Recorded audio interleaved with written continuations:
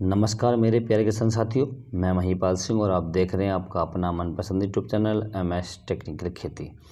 किसान भाइयों, आज के इस वीडियो में हम बात करेंगे धान की सबसे अच्छी और सबसे अधिक उत्पादन देने वाली टॉप टेन पाँच वेराइटी के बारे में।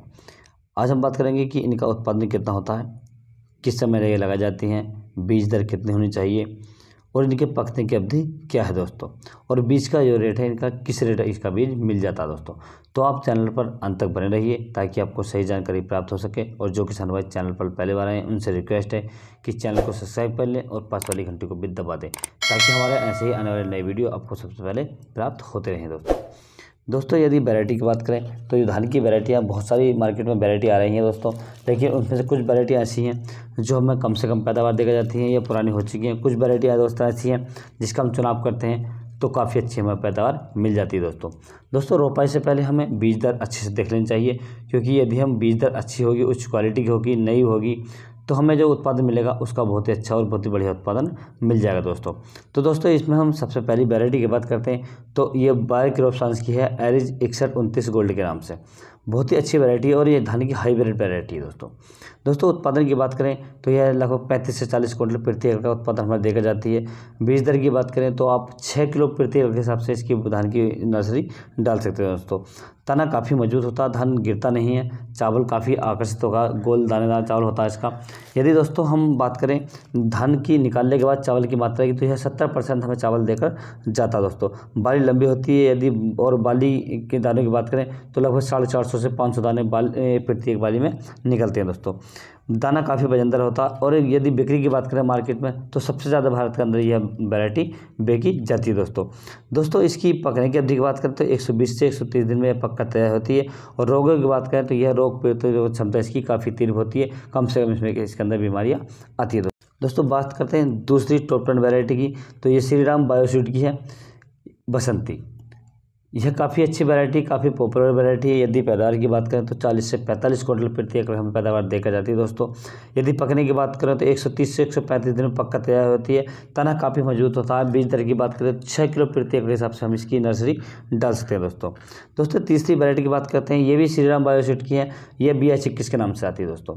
दोस्तों, इसकी पैदावार की बात करें तो यह पैंतालीस कुंटल प्रति एकड़ की पैदावार, इसकी हाईएस्ट पैदावार किसान भाइयों ली है दोस्तों। बहुत सारे किसान भाइयों कमेंट्स है कि हमने पिछले बार इसकी लगभग पैंतालीस कुंटल प्रति एकड़ की पैदावार हमने ली है दोस्तों। क्योंकि पिछले मैंने एक बार वीडियो डाल रखा पिछले साल इसका एक वीडियो डाला था, खाली बी एच के बारे में मैंने जानकारी दी थी। तो बहुत सारे किसानों ने कमेंट्स किया कि हमारी जो इसकी पैदावार निकली है, वो पैंतालीस कुंटल हाइएस्ट पैदावार निकली है। दोस्तों, इसका तना काफ़ी मज़बूत होता है काफ़ी पानी के प्रति सेंसिल होता। है यदि हम सूखे स्थान पर बोते हैं पानी किसी वजह से नहीं मिल पाता तो यह इसकी वैरायटी जो धान की वैरायटी है। यह इस पर कोई फ़र्क नहीं पड़ता दोस्तों। यदि हम दस से पंद्रह दिन पानी की सिंचाई नहीं करते हैं इसकी तो यह पानी से सूखता नहीं दोस्तों। और रोगों की बात करें तो कम से कम बीमारी आती है इसके अंदर। और दाना काफ़ी अच्छा होता है दोस्तों। और जब धान हमारा पकता है, ये लगभग एक सौ बीस से एक सौ पच्चीस दिन में यह पककर तैयार हो जाता है दोस्तों। दोस्तों, तीसरी वैरायटी की बात करते हैं। ये फाइनल कंपनी की है, सत्ताईस पी सैंतीस। काफ़ी पॉपुलर वैरायटी है। पैदावार की बात करें तो पैदावार लगभग पैंतीस से चालीस क्विंटल पैदावार हमें इसकी मिल जाती है दोस्तों। बीज दर की बात करें पाँच से छः किलो प्रति एकड़ हम इसकी नर्सरी डाल सकते हैं। दोस्तों, पानी की बात करें तो कम से कम पानी की यह किस्म हो जाती है कम से कम लागत में यह किस्म हो जाती है दोस्तों। बाली काफ़ी लंबी होती है, एक बाली में दानों की संख्या पाँच सौ, लगभग पाँच सौ, साढ़े पाँच सौ दानों की संख्या होती है दोस्तों। दाने काफ़ी वजनदार होते हैं। दोस्तों, पकने की अवधि की बात करें तो एक सौ पच्चीस से एक सौ तीस दिन के आसपास ये पक्का तैयार हो जाती है किसान भाइयों। किसान भाई पाँचवीं और सबसे लास्ट वैरायटी है? पूसा, सोलह सौ बानवे। यह लगभग दो हज़ार इक्कीस में लॉन्च हुई थी। दो हज़ार बाईस में इसे काफ़ी स्थानों पर बोया जाएगा दोस्तों। तो इसमें दो हज़ार इक्कीस की पैदावार जो पंद्रह धान है, उसकी ही यह संशोधित वैरायटी है। इसकी पैदावार की बात करें तो यह लगभग बीस क्विंटल प्रति एकड़ की पैदावार हमें देकर जाती है दोस्तों।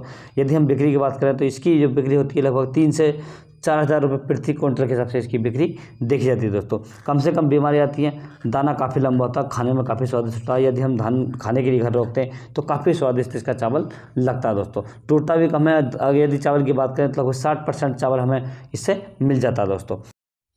तो किसान भाई, मैंने जो आपको ये वैरायटी बताई है, आप इसमें से किसी वैरायटी का चुनाव कर सकते हैं अपने खेत के लिए और आप अच्छी पैदावार प्राप्त कर सकते हैं दोस्तों। दोस्तों, मैं आशा करता हूँ कि जो अब मैंने आपको वैरायटी बताई है, यदि आप समय पर ध्यान देंगे अपनी फ़सल का समय पर सिंचाई करेंगे, खाद डालेंगे तो मैं आशा करता हूँ कि आपका उत्पादन जो सबसे अच्छा उत्पादन होगा दोस्तों। तो दोस्तों, मेरे द्वारा दी गई दी गई जानकारी आपको कैसे लगी? यदि जानकारी अच्छी लगी हो तो वीडियो को लाइक करें और चैनल को सब्सक्राइब करें thanks for watching my video जय हिंद, जय जवान, जय किसान।